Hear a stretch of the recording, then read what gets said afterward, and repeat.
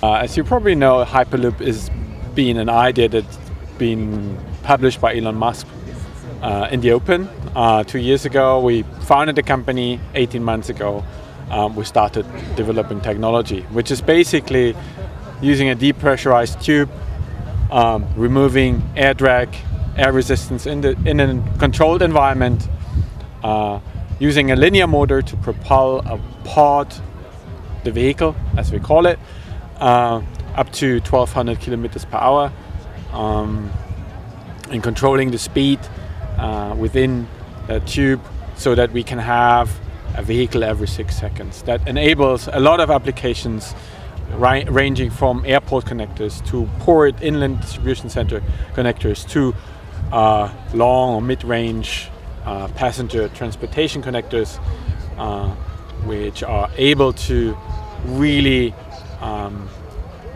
um, accommodate volatility in, demand, in, in demand, traffic demand, demand as we know it.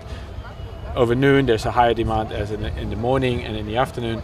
So we're trying to accommodate that with the new uh, motor operation with a new technical system called Hyperloop. Um, and this will have significant impact in the way people perceive transportation in the future. Uh, imagine you could live in uh, London and work in Paris, or vice versa. Live in San Francisco, work in Los Angeles, uh, live in Moscow and work in St. Petersburg. Uh, I think this is uh, going to have significant impact on how people perceive uh, distance. It becomes a matter of time, not of distance. So you could go for a date or for the business dinner living in Moscow, going to St. Petersburg, because the time between both, both cities would be 25 minutes. So I think that gives you a little idea on uh, where we see um, how we see that impact on pe how people live together, how communities act together, how um, economies can flourish because transportation commuting does not is not an issue anymore um, as we have it today. Greatly supported by one of our early investors, Caspian VC. Uh, we're talking to many many uh, thought leaders in in Russia.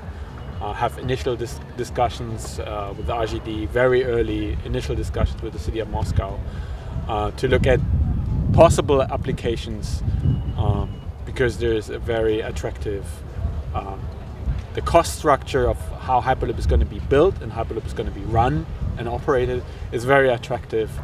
Uh, and the Russian market with long distances, uh, with affinity to te technology, uh, is very attractive for Hyperloop.